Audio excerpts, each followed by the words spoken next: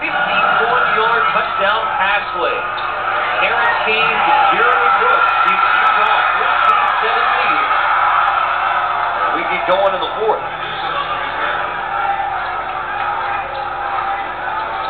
Newsom brings it out to near the 20. There is an injured player on the field for Utah.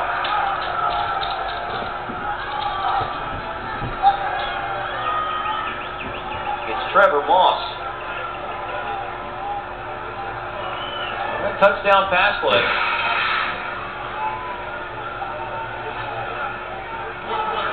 Trevor Moss right there just runs into the to the double team there.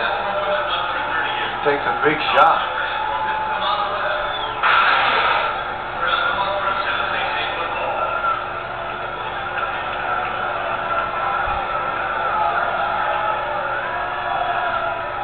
The Utes 15 game winning streak on the line, an undefeated season called it, JC, on